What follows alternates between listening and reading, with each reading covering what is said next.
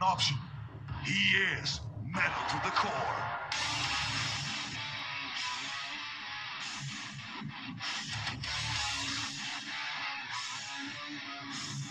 Please welcome Josh, the War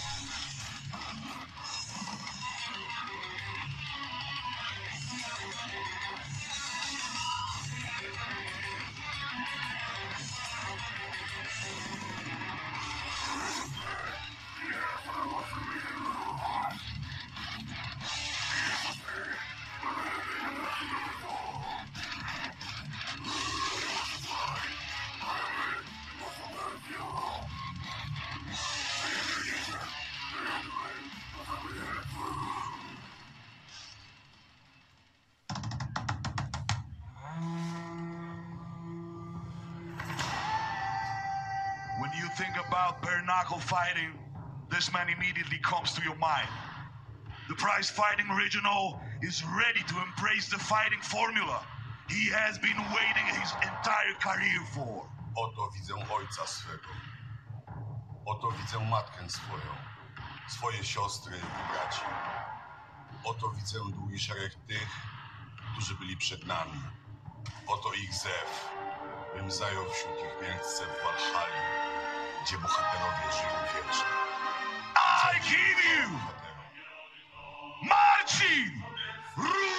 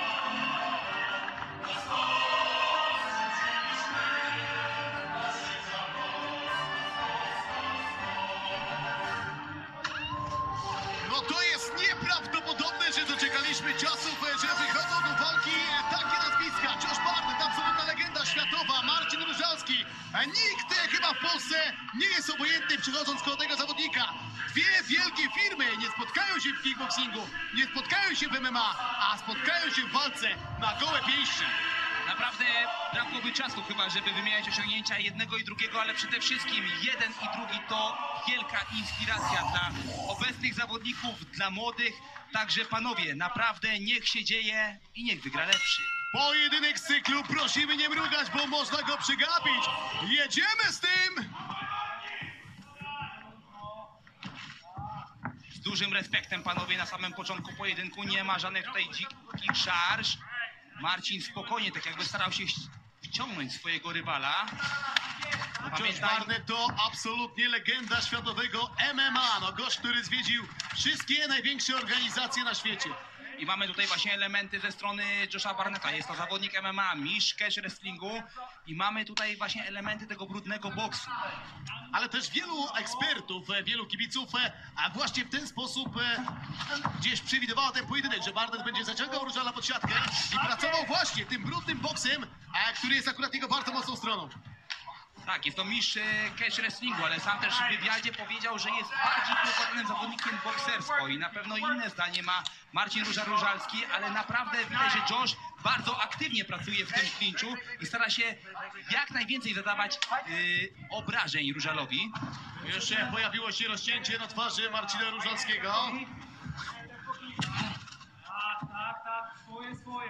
Marcin spokojnie czeka, wie, że już Barnett będzie starał się pięknie, naprawdę pięknie wyczekał, bardzo dobry lewy na przekroku, i który dochodzi do twarzy Josha Barnetta. Różalski zawsze w swoich pre, pre, pojedynkach, a nawet tych kickbokserskich prezentował bardzo często taką e, wojnę na wyniszczenie, na przełamanie rywala, więc e, dla niego to jest woda na młyn. Ale zebrał dwa ciosy Josha Barnetta, po czym momentalnie wystrzelił prawym sierpowym. Pamiętam jak znokautował tam Brazylijczyka z Santo. Ale zamknięty w narożniku i to nie jest najlepsze wyjście z sytuacji. Josh Barnett e, dobrze pracuje również pozycją i kolejne mocne ciosy dochodzą do głowy Marcina Różalskiego po rozcinanej tej wytatuowanej głowy Różala. Mocno krwawi prawe oko Marcina Różalskiego. W natarciu Josh Barnett, w defensywie Marcin Róża Różalski. Tutaj naprawdę już panowie wymienili sobie dużo, dużo uprzejmości. Josh Barnett stara się realizować swoją taktykę, umęcza Marcina w klinczu i tam stara się lokować jak najwięcej ciosów na głowie Marcina. No nie widzieliśmy go w zawodowych startach. A przez ponad 3 lata wraca Różale do formuły, który jest. Trafił Marcin Różalski i lekko zachwiał się w pozycji Josh Barnett. Świetne te ciosy i skróty dystansu Marcina na przekroku. Piękny łokieć, ale kontruje go Josh Barnett. I mamy liczonego Różala. Dawaj Marcin, stawaj. Stawaj, stawaj, stawaj Marcin. A to, że wstanie to jestem pewny, ale zobaczymy jakie będą konsekwencje. Ależ odpłacił się za tą świetną akcję Różala Barnett e, naszemu zawodnikowi. 10 ostatnich sekund. Na pewno Różal go i na pewno nie będzie starał się przytrzymać, tylko już widzimy, już próba kontrowania. No i mamy pierwszą rundę. Sam Różal przed tym pojedynkiem powiedział, że na pewno nie chciałby, żeby to poszło w decyzję. Mamy już pierwszy knockdown i naprawdę to się nie zanosi. Trafiał zarówno bardzo mocno jeden, zarówno je i drugi. Ciężko, ciężko Różal zbliżał do narożnika. Państwo tego nie widzieli. Przypomnijmy, to jest waga ciężka, kategoria 120 kg. Tu naprawdę te pięści ważą. A w momencie, gdy mamy gołe piąchy, to jesteśmy w stanie się tego domyślić, że to naprawdę waży tony. No ale świetnie trafił a tym prawym krosem, gdzie- czym zaskoczył Barneta, ale za chwilkę przyszła kontra, a która spowodowała liczenie. Wydaje się trochę zmęczony Marcin. No ten cios taki króciutki, tam wcześniej chyba było jakieś uderzenie, które zachwiało różalem. Łokieć kapitalny. A trafił krótkiego prawego, ale też już jest e, rozbita głowa Marcina, więc spowodowało to knockdown. Kapitalna pierwsza runda, no ale jak mamy być obiektywni, to przede wszystkim dla Josha Barnetta. Tak, ale widać też trudy tego pojedynku na twarzy Josha Barnetta i mamy rundę numer drugą. Szarża ze strony Marcina, ale dobrze w obronie zareagował Josh Barnett. Dobry lewy ze strony Josha Barnetta i cała szarża Josha Barnetta, przejście do klinczu, teraz mamy elementy brudnego boksu. Cały czas klincz jest aktywny, więc nie może rozerwać tego te, sędzia Bronder. Ciosy na dół, ciosy na korpus. Po No to, żeby jest- zabrać jak najwięcej tchu Marcinowi. No to jest absolutnie płaszczyzna walki Josha Barnetta i tutaj e, będzie on konsekwentnie rozdawał karty i to same asy. Po raz kolejny wcisnąć Różala w siatkę i powracować brudnym boksem. Chociaż teraz dobre dwa ciosy ze strony Polaka. Piękny łokieć wykończony podbródką, naprawdę świetna kombinacja ze strony Marcina Ryżalskiego. Ale zmęczony jest Różal potwornie. Widać to doświadczenie ze strony catch wrestlingu, jeśli chodzi o Josha Barnetta. Widać, że ten klincz naprawdę go nie męczy. Tak naprawdę to dla niego młyn na wodę.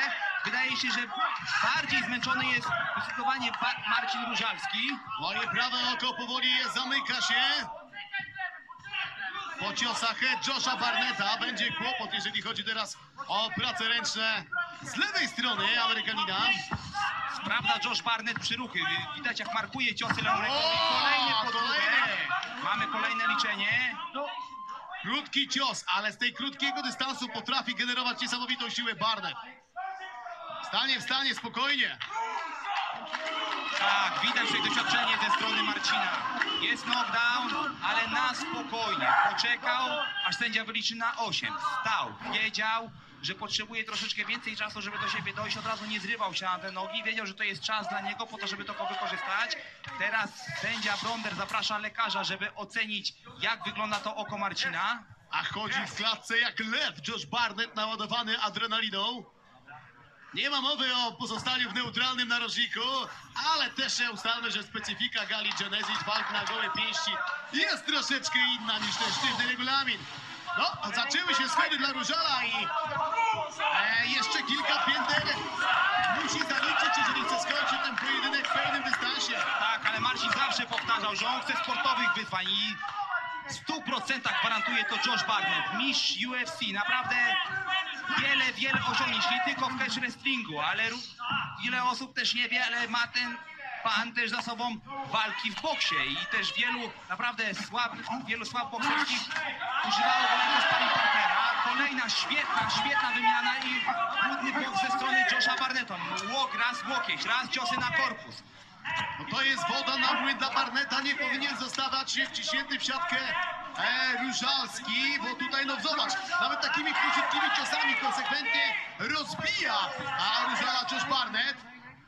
Tak, widać przede wszystkim tutaj doświadczenie ze strony MMA, ten brudny boks. Widać, że ta praca jest y, w klinczu nie po to, żeby tylko odpocząć, żeby zmęczyć rywala, ale żeby zadać mu jak najwięcej obrażeń. Widać, że to plan bardzo dobry lewy. Zachwiał się Różal, podbródek, ale wystrzelił dwoma sierpowymi, ale momentalnie Josh Barnett przechodzi do klinczu. Na ile to była zasłona dymna, a na ile faktyczne, e, faktyczny kryzys po kolejnych ciosach Barneta.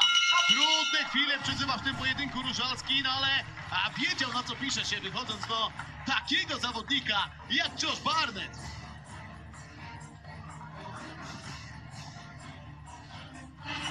Widać trudy pojedynku na obu twarzach, ale zdecydowanie bardziej u- widać to po Marcinie. Widzę na oko, kurwa! Dobra, lekarz.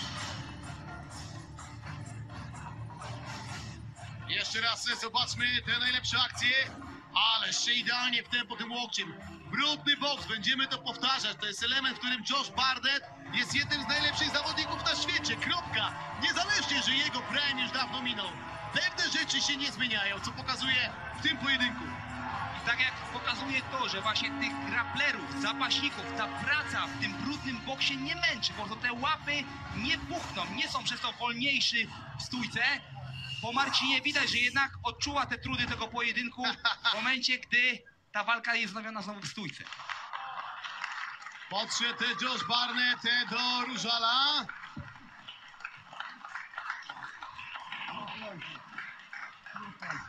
Nie będzie trzeciej rundy. O, lekarz chyba ma spore obiekcje co do tego prawego oka Różala, które zresztą e, Polak e, anonsował, że nic nie widzi na to prawe oko. W konsekwencji ten pojedynek zostaje przerwany i dobrze, no bo bijatyka bijatyką, brutalność brutalnością, krew krwią, ale rozsądku troszeczkę i zdrowia jednak trzeba zachować, chociaż na pewno Różal będzie kwestionował to zatrzymanie, ale wiadomo jaki jest Marcin. Dokładnie tak jak Róża powiedział, on by najchętniej w tym ringu w ogóle umarł, ale panowie, swollen? naprawdę ogromny, ale to ogromny szacunek dla obu panów. A Josh Barnett przyjechał tutaj naprawdę świetnej dyspozycji i naprawdę mocno przygotowany. No to oficjalnie w takim razie. Panie, panowie, walka skończyła się po rundzie drugiej. Your winner, the War Master, Josh Barnett!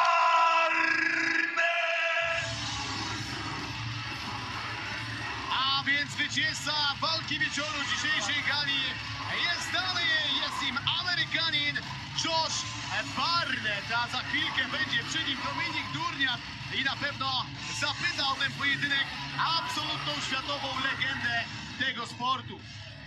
Josh, huge win, great war. Take us through this fight. Uh, the main thing about this fight, besides the technical elements, besides the violence, the action, is that I felt like I was in the ring with a brother. I felt like I was in the ring with someone that I that I loved, even though I didn't know. And uh, he brought that out of me, and I, I hope he he has that feeling in his heart too. When I got to know him, hear about him, and see his words,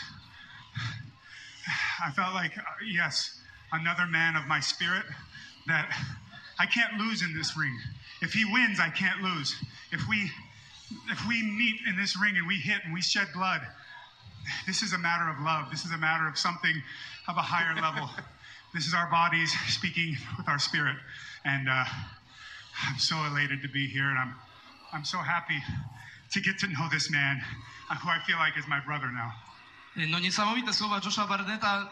Przede wszystkim powiedział, że oprócz tej warstwy technicznej, oprócz tego, że to była krwawa wojna, to on tutaj poczuł się w tej klatce, jakby walczył ze swoim bratem, jakby walczył z człowiekiem, którego dusza jest mu bardzo bliska i no jest zachwycony tym, że mógł poznać e, Różala nie tylko poza klatką, ale też w klatce, bo mówi wręcz, że zakochał się w tym e, pojedynku i w tym, jaka więź ich tutaj połączyła e, w tym starciu. So, bare boxing is something for you for the future?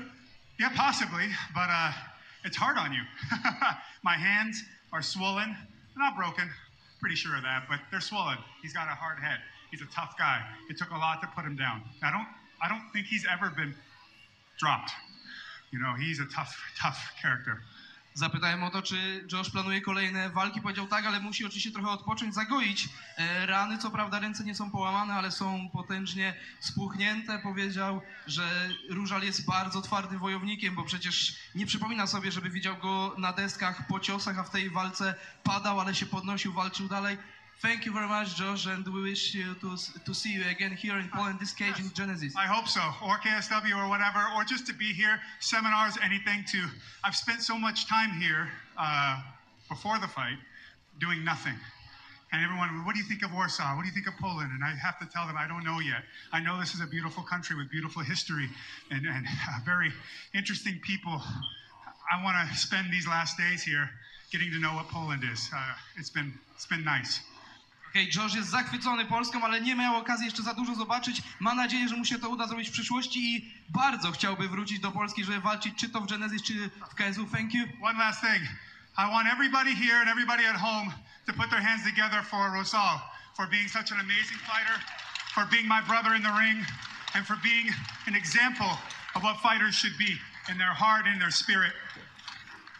This is a man right here. Josh poprosił o brawa dla Różala za to, jakim jest człowiekiem, jakim jest fighterem. No skoro już został wywołany Marcin do tablicy, to przede wszystkim witaj z powrotem. I co, to była ta wojna, na którą czekałeś? Oczywiście nie z takim wynikiem pewnie, ale wojna znakomita, no i słowa Josha też chyba cię e, podbudowały. Dobry wieczór wszystkim. Bardzo dziękuję za wspaniały doping. E, dziękuję telewidzom, wszystkim, którzy oglądali to, którzy wykupili pay-per-view mimo ciężkich czasów.